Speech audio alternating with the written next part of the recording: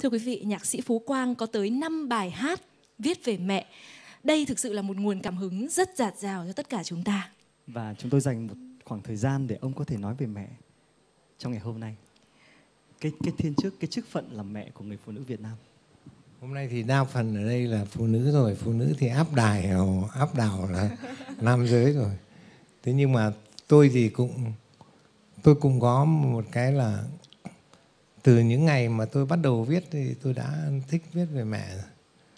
Và tôi cũng phải nói thật rằng là tôi cũng không sòng phẳng lắm so với bố mình. Tức là mình, bố mình mình rất yêu nhưng mà tôi có năm bài hát về mẹ thôi. Nhưng mà tôi chỉ có một bài viết về cha mình thôi. Tức là trước mùa cha thôi. Cái ngày đến, đến lúc mà đúng xuống trước mùa cha thì mình mới viết được cái đó. Thế thì tôi nghĩ rằng là cái người mẹ là vĩ đại lắm. Tôi có thể thấy mà cái điều này. Bây giờ nói ra thì nó nó nó nó nó nó rạch ròi quá mà nó hài hước. Thế nhưng mà này tôi thấy rằng là những người mẹ nhé có thể là phản bội chồng.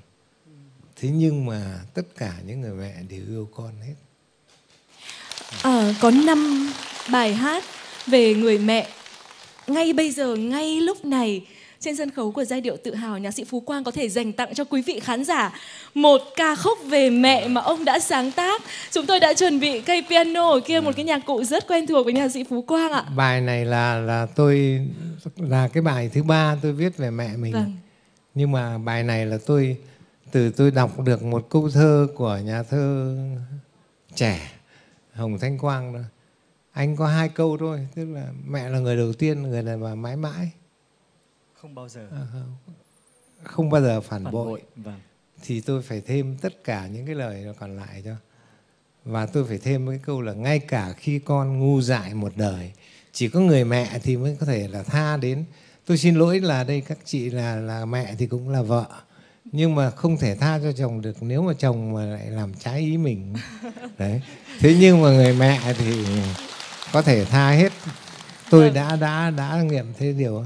Vâng mẹ... một chàng pháo tay cho nhạc sĩ phú quang trình vâng. diễn ca khúc mẹ. Xin mời nhạc sĩ phú quang ạ. Vâng. thế và bài này là tôi viết là là vì một cái cái tình cảm rất thật là ngày mà tôi đi Sài Gòn ấy thì khi người đầu tiên tôi cần phải nói là tôi tôi chỉ nghĩ là khó nhất là bây giờ không biết nói với mẹ thế nào. Bởi vì mẹ tôi tôi biết là mẹ mình rất yêu mình thế đúng hôm ý khi mà tôi nói là mà mai là con sẽ đi sài gòn. Thế thì mẹ tôi sững người, thế xong mà mẹ tôi chỉ hỏi tôi một câu là, thế tại sao lại con lại đi? Mà tôi cũng không trả lời được. Thế rồi sau này thì khi mà đi rồi nhưng thì lúc mà tôi ra, tôi vẫn ra thường ra thăm mẹ mình. Thế nhưng mà đến một ngày mà tôi ra thì mẹ tôi yếu quá rồi. Và sau đấy là mẹ tôi mất tôi viết cái này thì tôi phải mượn tất cả những cái nghĩ, ý nghĩ của mình tôi cho. Bởi vì chắc là anh anh Hồng Thanh Quang thì anh còn trẻ. Anh trẻ mà mẹ anh còn sống anh chỉ có thể có được, mẹ là người đầu tiên, người đàn bà mãi mãi, không bao giờ phản bội đâu. Thế nhưng mà tôi, tất cả những lời về sau đấy mà các bạn nghe, đấy là lời tôi. Mà bây giờ tôi xin hát, mà tôi thì lại không phải ca sĩ thế thì nếu không là ca sĩ thì nó sẽ có một cái điều rất dở là này các anh các chị nghe ca sĩ rồi toàn là người lẫy lừng đấy rồi quý vị có muốn nghe nhạc sĩ phú quang không ạ? Vâng. quý vị có muốn nghe nhạc sĩ phú quang đàn và hát về mẹ không ạ? Vâng ạ. Mà tôi thì tôi chỉ ạ. tự tin được cái là tôi chỉ có mỗi một cái tấm lòng trung thực khi viết bài này thôi. Vâng. Mẹ là người đàn bà đầu tiên người đàn bà mãi mãi không bao giờ phản bội. Ngay, ngay cả, cả khi con, con ngu dại một đời. đời mời quý vị.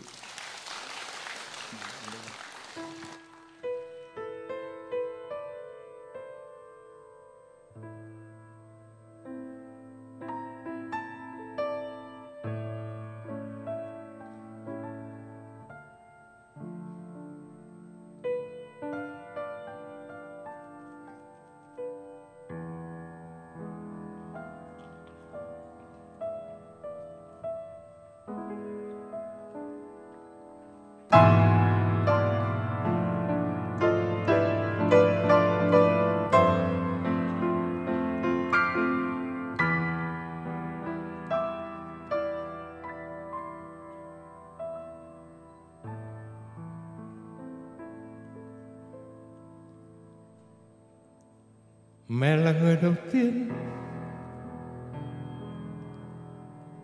Người đàn bà mãi mãi không bao giờ phản bội. Ngay cả khi con ngu dại.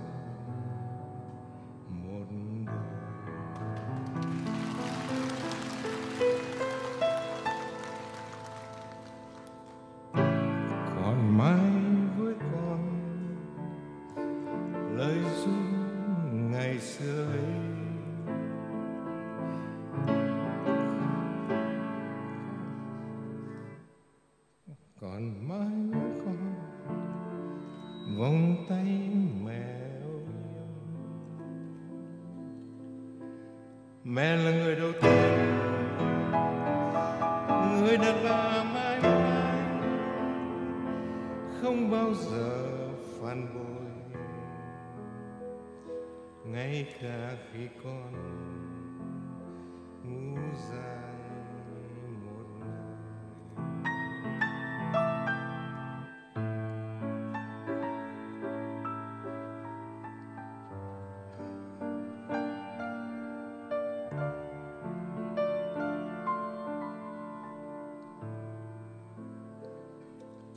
bây giờ mọi cánh phiêu du, con tìm về chốn bây giờ mẹ đã khuất xa chỉ còn gặp trong giấc mơ. Để từng chiều lắng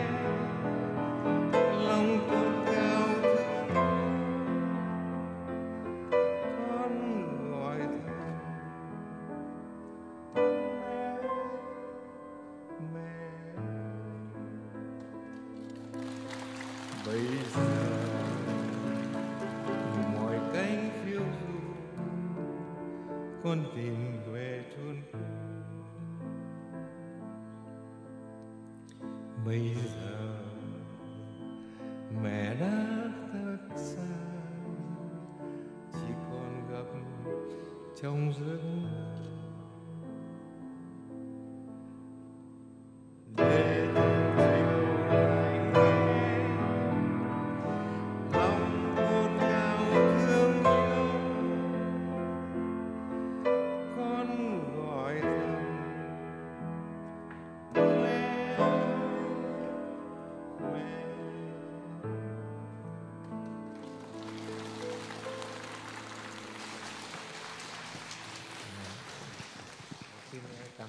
Chị và các bạn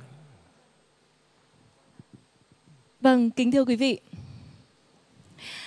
Kính thưa quý vị, có thể nói rằng sự thổn thức, một tâm hồn thổn thức, một giọng ca thổn thức của một người đàn ông 70 tuổi khi hát về mẹ của mình vẫn còn day dứt và vẫn còn đầy nước mắt. Vâng, xin cảm ơn nhạc sĩ Phú Quang rất nhiều. Ngay cả khi con ngu dại một đời thì người mẹ vẫn luôn luôn tha thứ. Và có lẽ lúc này thì à, chúng tôi muốn chia sẻ với quý vị một câu nói rất nổi tiếng của Ban Giác. Trái tim của người mẹ là vực sâu muôn trượng mà ở dưới đáy người ta sẽ luôn thấy được sự tha thứ. Và linh cũng muốn có một câu nói uh, để truyền tải với Hồng Nhung với quý vị khán giả. Câu nói của Bernard Shaw khi ông nói rằng là thế giới không có nhiều kỳ quan, nhưng kỳ quan tuyệt phẩm nhất chính là trái tim của người mẹ. Không có ai nghèo khi mà chúng ta còn mẹ.